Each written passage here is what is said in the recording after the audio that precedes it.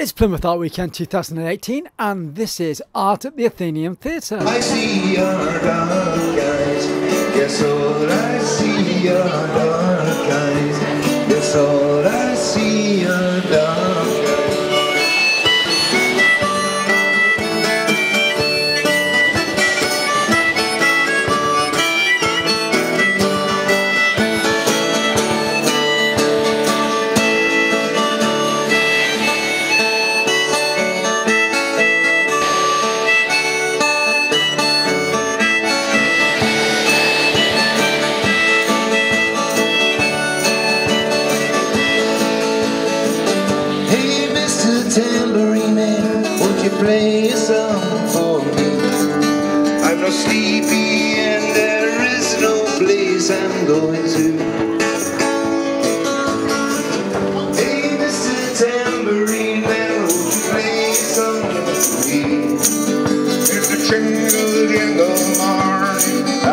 following you.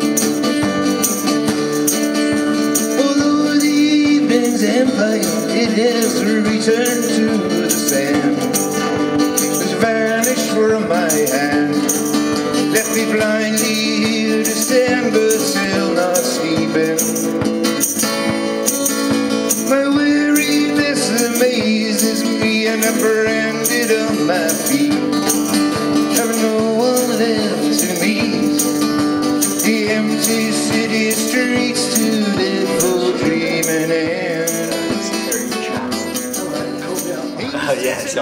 I'm, I'm out by his work, yeah. And uh, have you got art here in the Athenaeum Theatre? My work is are those four pieces there. Do you want to come up and just Yeah. show, show it to me? That's right. So my work is about um, looking beyond reality, everyday reality. Uh, my starting point are masks. So this is an Inuit mask from Alaska. Uh, do you do a lot of travelling then? No, I actually I came across these in the Frieze. Uh, Frieze Masters up in London several years ago, and they just blew me over. Uh, And so I've done a lot of work on, on the culture and what they represent. And it's such a different worldview from ours. And then that feeds into these paintings here, which are more uh, conceptual, I think. I don't have an idea of what I'm going to paint when I start, and then things come into my mind. For example, this one, the composition is based on a painting by Walter Sickert yeah. in the Tate Gallery, and as I was making that painting, that composition came to mind. Uh, so some of it's like subliminal abstracts. Yeah, yeah, just as long as you, you're, you're open-minded and you begin, then there's enough work that I've seen, experiences that I've had, and it just feeds into the work. And suddenly, for example, here, this is a uh, represents uh, a, gr- a scene from uh, Agamemnon. Yeah. uh, where Clytemnestra, I think it is, uh, murdered him when he came back from his wars. And I didn't plan to do this, but I happened to be reading some of it at the time, and it just feeds in. It's a great experience, a great way to be, great way to be an artist. So you're into abstracts. This is this is primarily what I do, but I, I do the masks as well. I paint masks as well, partly for the technical challenge, but also because of the culture and the yeah, it just just feeds my imagination.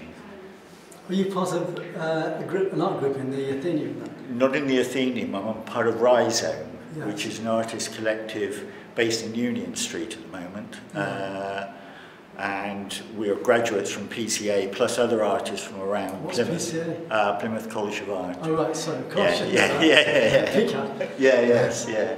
Uh, and we realised that when you leave college, I graduated two years ago, yeah. it can be quite lonely when you come out on your own.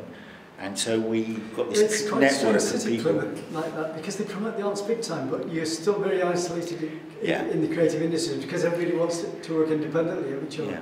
Which also holds back creativity. Yes, and you need that interaction. You need other artists To feed off. to feed off, to look at your. So we, we do crits. All of this work has been critiqued by fellow artists in Rhizome, and their insights help to develop the technique and what I As do. long as it's not over influenced by them. You know, No, as long as it's no. constructive input. Yeah, yeah, yeah, yeah. I think uh, again at PCAD, PCA, um, you get taught, not taught, you experience really good crits. Yeah. So how to be supportive, how to inform the artist, but not railroad them or tell them what to do.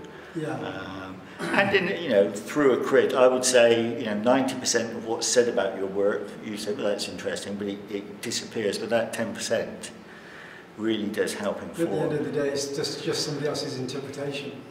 Yeah, but it's it's it's a way of informing, giving a different view. Because as an artist, I get very I get very into my work, and having a group of people I trust say to me, "Actually, Terry, have you thought about this?" or "That's reminiscent of." Yeah, it's just a way of of keeping you know, keeping me connected to other people rather than just disappearing down a tunnel. So you, like me, went into the creative industries later on in life. yeah, yeah, I had a business career. I was a management consultant based So in London. So this is quite relaxing. Yeah, well, no, ah, no, no, no, no, no. uh, but It's, so I went from a very high-powered business career, Yeah.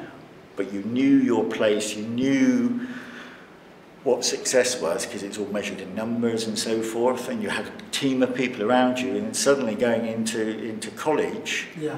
you know I had people around me who were 18 19 much younger than me much better technical artists. open minds not being con- yeah. uh, structured into the ways of thinking by the system. Yeah yeah so, so More you have to make that whole transition and that was that is That's still you have to start listening up again. Yeah yeah and it's and it's um it's a hard transition to make, but it's So you've been doing art all your life in some form or another.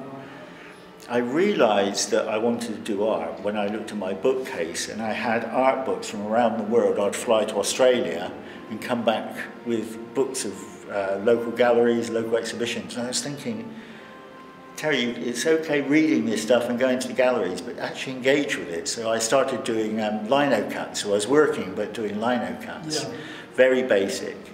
And that just fired my imagination. And I thought, right, got enough money, pay the mortgage off, move down to, to the southwest, go to art college, haven't looked back. So that explains why you moved to Plymouth. Yeah, well, I actually live in Exeter. I, Well, it's I, not better actually. You- Well, I prefer Plymouth is quite Plymouth. as a city, even though it pushes the arts. Yeah, Because yeah. of the way it's run. Yes. It's still very over controlled. yeah. And unless it goes, Exeter is totally different. It's a vibe and it's a lot more open. But it doesn't have, I, I beg to disagree because I find it doesn't have, for a painter in particular, it doesn't have a painterly culture.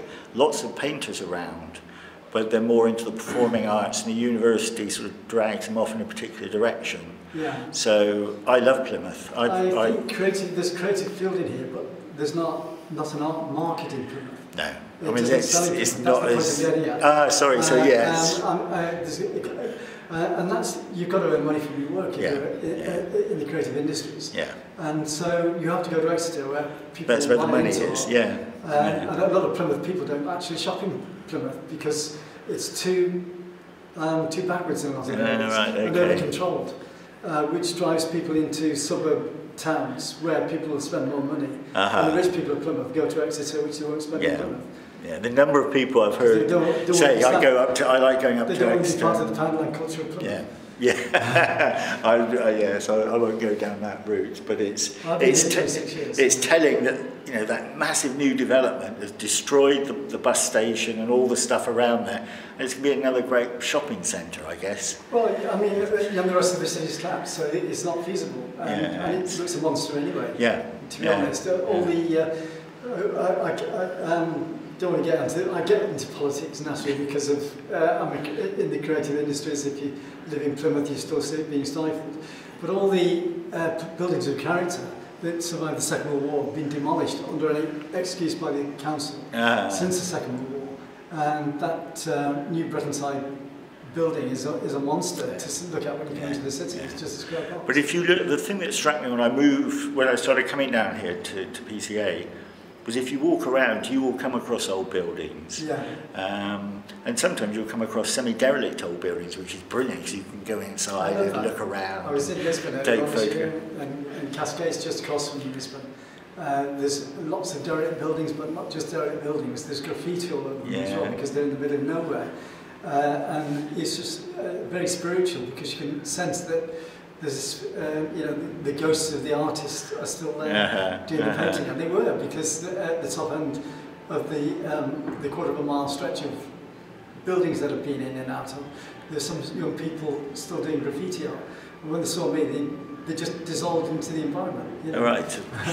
Yeah, Yeah. Just dispersed. Yeah. Well, I was in Belgrade uh, last year. No, uh, earlier this year. Again, they're doing a lot of, a bit like Plymouth, destroying a lot of it. Yeah. uh, with a lot of money coming in from Russia and other places. But they're sort of in this in the interim stage where there are a lot of derelict buildings, um, and of course memories of the, the Yugoslav war. So it's very resonant. It's got a very particular vibe. Yeah. Yeah. Uh, but derelict buildings are brilliant. Yeah, absolutely, I agree. Yeah, yeah. Have you got a website? I have terrychannel.com. There's art on Is there. double N or is Oh yes, uh, double N E double L. Uh, Uh, there's art on there. There's also I write about art. yeah. So there's stuff about the work that I do, philosophy, Heidegger, and stuff like that. So yeah, Thanks very much. very wor- worthwhile looking at. Worthwhile looking I'll at. try and do that. Thank you very much. Thank you very much for your time. You can contact the Athenaeum Theatre and Plymouth Arts Weekend on Facebook. Music on the video is by Phil the Glass with great thanks. You can find him on Facebook and hear him busking in Plymouth, so give him lots of money. This has been a Chris Summerfield video 2018. You can contact me at ccsphoto12 at hotmail.com and if you can help to sponsor my videos, you can PayPal me at ccsphoto1 at gmail.com. Don't forget to subscribe to my videos.